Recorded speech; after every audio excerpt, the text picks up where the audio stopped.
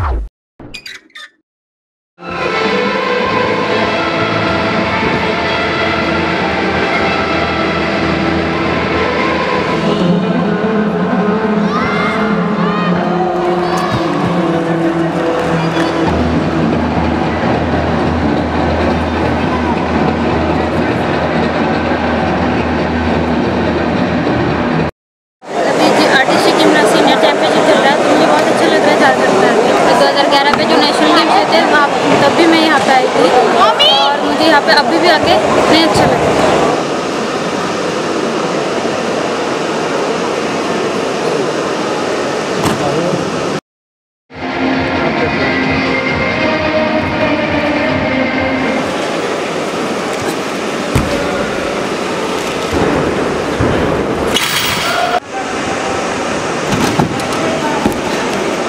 सबसे बड़ी चीज़ है कि ये टूर्नामेंट जो आप देख रहे हैं, ये झारखंड और एकीकृत जब बिहार थी,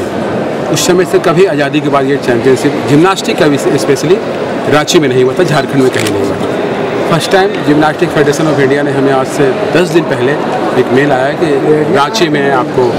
ऑल इंडिया सीनियर जिम्नास्टिक प्रतियोगिता कराना है। मैंने एक्सेप्ट कर लिया और हमारे जितने भी साथी आप देख रहे हैं, हमारे साथ हैं, मैंने अपने अड़तीस साथियों के साथ इस टूर्नामेंट को सफल बनाने में, स्टार्ट करने में अपना प्रयास, पूरा एफर्ट लगा दिया, अपनी पूरी ताकत लगा दी।